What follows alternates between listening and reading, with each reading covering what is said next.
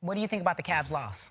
This Fire? is, look, this is what we've seen now from them throughout most of the season, and it's getting even worse here in March. Like, I keep looking at it every month. I go, where is this team defensively? And right now, they are the second worst team in the NBA on defense. And if you talk to people around the Cavs, it's, well, we're just going to flip that switch and we'll be fine. When I look at their individual defenders, Kyrie's never been a defensive player unless he's playing Curry.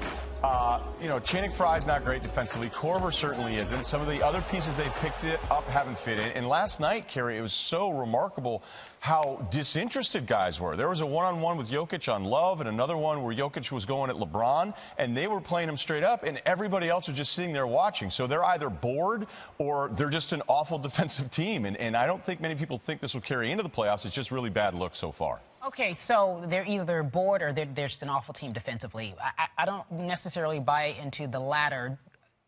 Let's talk about being bored. Why would they be bored now?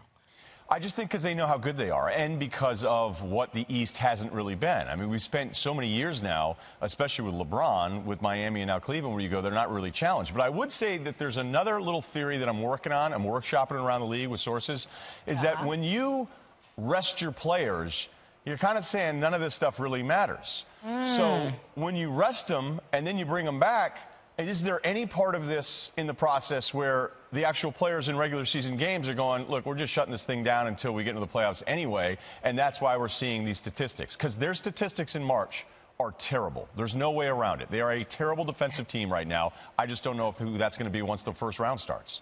Okay, I have a question. No pun intended, but this cavalier attitude that you just yes. talked about, that we're and, and seriously, I just I really want to talk about this for a second. I watched. I was at the Clippers Lakers game the other day. Chris Paul had his son on the bench in the last four to three minutes of the game.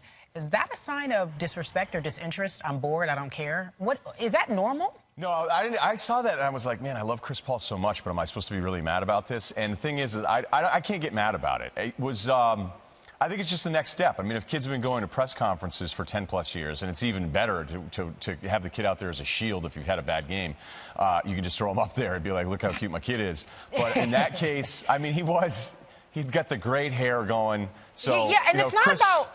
It's not about getting mad, though. It's about what are you? I, I, mean, the kid's adorable, but I'm saying, is it the attitude of, okay, we know what this means, we know what these games mean. This one doesn't necessarily matter let's pay attention and focus on the playoffs. That's what I'm asking. Yeah, the no close of this NBA season, you're yeah. right, you're right. Maybe I should have understood you a little yeah. bit better on that question. Yes, but, no um, problem. no, I, I, I, think you see, and the thing is, I was going through this with some teams last night, and you're going, hey, all you guys in ESPN are complaining about all the rest and shutting it down at some of the primetime games. Look at the way the schedule plays out, the back-to-backs. There's a bunch of back-to-backs, TNT, ESPN, with high-profile teams, and guess what? Those teams are still going to sit these guys. So this problem is only going to continue. So I don't know if that Chris Paul in that spot, I mean, maybe it is just a collective kind of let's just get to the playoffs because none of these games late matter.